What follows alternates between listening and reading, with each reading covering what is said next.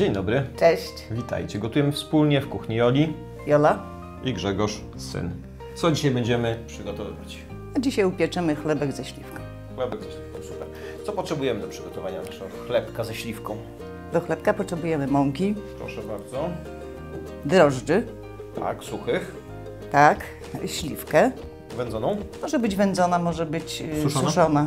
Ja tam wolę suszoną. Miód, Mhm. sól, ciepłą wodę i keksówkę. Wysypaną Wysypaną bułeczką, wcześniej po, y, posmarowaną Tak, tłuszczem. dobrze. Od czego zaczynamy? Od zrobienia rozczynu. Dobrze. Czyli drożdże. Tak, dajemy troszkę wody ciepłej, Mhm. nie za dużo. I mieszamy sobie. Mieszamy i odstawimy na chwilę w ciepłe miejsce, żeby nam urosły. 10-15 minut. Nie, szybciej. A cukier? Nie, cukru tu nie dajemy. Wystarczy nam ciepła woda. Nasz Rozczyn? Rozczyn urósł. Tak jest, proszę bardzo. Dobrze, Gotowy? To teraz podejmij mąkę. Proszę bardzo. Rzućmy śliwki, Już. sól, Tak. miód. Miód, proszę bardzo. Ja teraz to wymieszam. Dobra. Wymieszałam. Tak. Teraz dodam rozczyn.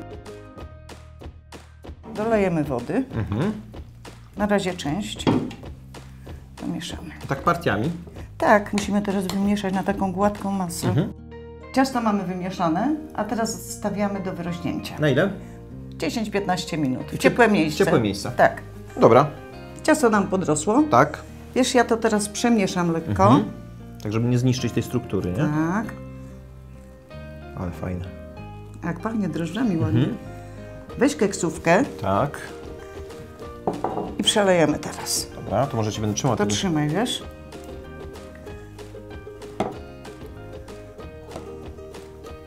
Teraz odstawimy w ciepłe miejsce, żeby wyrosło. Tak 10-15 minut. Żeby sobie nam... Żeby pod... Dobra, to ja zabiorę. O. Proszę bardzo. chlebek podrósł. Tak. Teraz stawiamy do piekarnika nagrzanego do 180 stopni na około godzinę. Mhm. Pieczenie góra dół? Pieczenie góra-dół. Jasne. Już. Godzina minęła, wyciągamy nasz chleb. Łoj, ale gorący. Ach. Upiekł się. Tak.